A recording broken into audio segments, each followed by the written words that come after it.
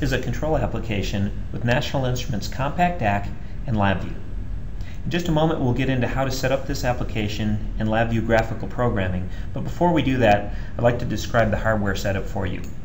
What we have here is a small battery powered fan and this fan is going to blow against this deflector. What we'd like to do is modulate the power of the fan to control how much air is hitting the deflector. Then we'd like to control the actual position of the deflector itself. So to get this done, we'll need to do a couple things. One is first we have to be able to change the power of the fan itself. The way we're going to do this is we've taken a power transistor and we've inserted it in between the batteries. We have to be able to control the power of those batteries to the fan through that transistor. So we've taken an analog output channel on the C-Series 9263 analog output module and this is a four channel analog output module. We're just using one of those channels and we're going to use that then to control the power transistor which will modulate the fan itself. Then we need to actually go and monitor the deflector position as well. The way we're going to do this is we have a strong powerful magnet at the bottom here that's coming up against a Hall effect sensor that's in this plastic block. The Hall effect sensor will change its voltage value with the amount of magnetic field that it's encountering. Now we're powering the Hall effect sensor with this battery bank right here. That changing voltage of the Hall effect sensor will be monitored by the C-Series 9215. This is an 8-channel analog input module in Compact DAQ. So that's our hardware setup. Let's go ahead now and program our application in LabVIEW. First thing we'll do is on the front panel, we'll put down a waveform chart. So we'll drop the waveform chart and we're going to go ahead and scale this thing to go from 2.5 to 2.8. We've just determined those values experimentally. Another thing we'd like to do is not auto scale, so we'll turn that off. And then we'll go and expand our legend a little bit so we can have a couple traces. And we're going to set the line width on this as well so that you can see them better in the video. So we'll just set those up. Next thing we'd like to do is put a slider on our front panel. This is going to allow us to set the requested angle or set point for the deflector itself. We're going to go ahead and scale this to the same levels that we put on our waveform chart. So when we're done with that, we'll go now to our diagram and we'll begin to program the application. The first thing we would like to do is monitor the position of our deflector. So we're going to get the DAQ assistant, we're going to drop it down, and we're going to set this up to do an analog input task. So we'll acquire signals, analog input, voltage, we'll take it from our 9215 module, and that's analog input channel 0, which is this channel right here. Now we just need to tell it to acquire one sample on demand. Everything else is fine by default. And what we'd like to do is test this out. So let's actually go and run it. We'll click the run button.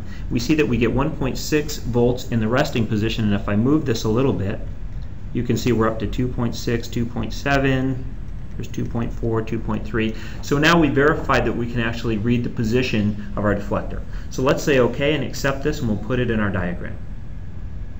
Now that we've got both our slider input coming in and also our analog input coming in, let's go ahead and wire those up to our waveform chart.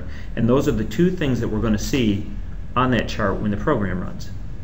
So we'll clean that up, and that's pretty straightforward. Next thing we'd like to do is analog output. And our analog output is going to allow us to control the fan motor through that power transistor. So we'll drop this down, and it'll bring up the assistant that says generate signals in this case, analog output, voltage, and we'll choose our analog output channel, which is this channel right here on our C-Series 9263 module. All right, in the same way, we'd like to just output one sample on demand. That means every time the software iterates, we'll get one sample or one update. And let's go ahead and output 2 volts and see if our fan turns on. So sure enough, our fan turns on and the deflector moves. Let's output 3 volts and see if we can increase the power. And sure enough, we can. Let's output 1 volt. This ought to bring it to almost stopped. So it lets it off and you see the fan slow way down. Let's output 0 and that should stop it and it does. Let's say OK to this function and let's put it on our diagram. The only other thing we really have to do now is put our control in between the analog input and the analog output. So the control we'll choose is PID. National Instruments has a great toolkit for PID that extensively lets you utilize that function. We're just using a simple user-defined PID in this application. We're going to bring up the help window so you can see how we wire it. First thing I would like to do is take that slider and wire it into the set point terminal. So we'll wire that up and we're good there. Next thing I'd like to do is take the analog input which is telling me where the deflector is and wire that into the process variable input of the PID function. So let's go ahead and wire that into the process variable input and we're good there. There's a couple other things we need to set up for PID, which is the min and the max value. And I know that the maximum output that I want to output to the power is 5, 5 volts, so we'll put 5 there as the constant.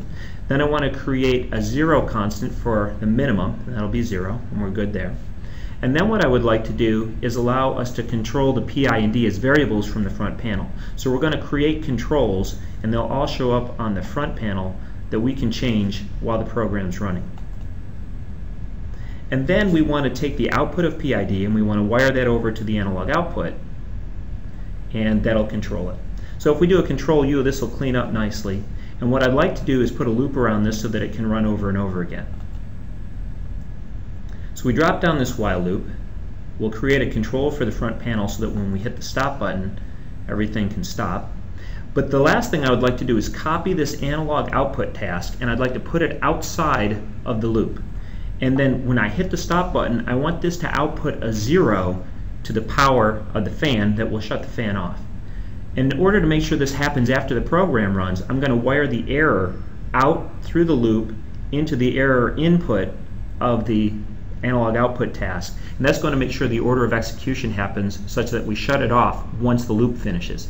Let's go to the front panel now and let's set up some values for the P, the I, and the D. So the P showed up at the top of our diagram here. We're going to put 0.5 in for that value.